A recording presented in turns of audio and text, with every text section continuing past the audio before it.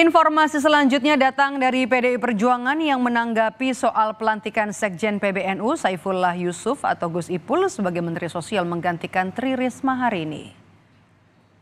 Sekretaris Kabinet sekaligus politisi senior PDI Perjuangan Pramono Anung tidak mempermasalahkan pengganti Menteri Sosial tidak berasal dari PDI Perjuangan. Sebelumnya posisi Mensos dijabat oleh Tri Risma hari ini yang merupakan kader PDI Perjuangan. Bagi Pramono, penunjukan menteri adalah hak prerogatif Presiden. Ya pokoknya waktunya tinggal satu bulan itu hak prerogatif sepenuhnya presiden. Presiden mau menunjuk siapa itu kan hak sepenuhnya beliau. Ya. Saifullah Yusuf atau Gus Ipul dilantik Presiden Jokowi sebagai Menteri Sosial menggantikan Tri Risma hari ini pada Rabu kemarin.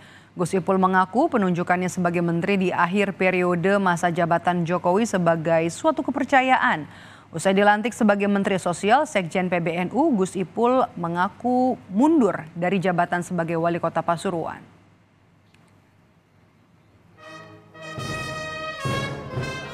Uh, membantu ya dari waktu yang tersisa apa yang ada sesuai arahan presiden. Tentu kita bicara juga masa transisi khususnya untuk Kemensos apa yang akan dilakukan di tahun 2025. Sudah ada komunikasi dengan menteri sebelumnya Bu Risma? Belum, belum ada, belum ada.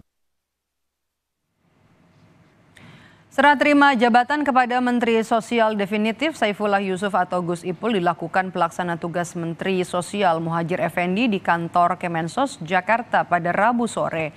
Dalam acara yang dihadiri pejabat di lingkungan Kemensos itu, Muhajir menyerahkan memo jabatan kepada Gus Ipul.